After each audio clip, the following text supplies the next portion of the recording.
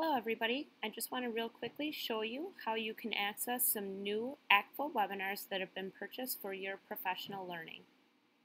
If you start by going to the website www.actfl.org, you'll be taken to this screen. If you want, you can click on the assessment and PD links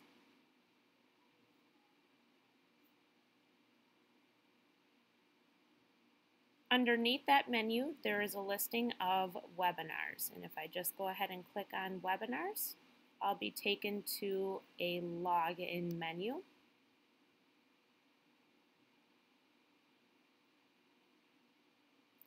Please contact Sharin for login information. Once you have that information, go ahead and click right here where it says sign in. Click on sign in. On this screen, you want to click on where it says My Purchases. Here you'll see a list of purchases with the date purchased. So as you can see, we've got a variety to choose from. The one that's entitled May 6th, I'll go ahead and click on that.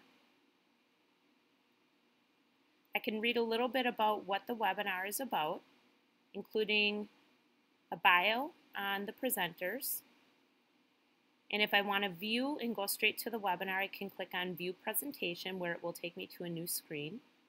Or in some cases, some of the webinars come with handouts and slides. So again, just need to get to the ACTFL website, need to go to where it says PD.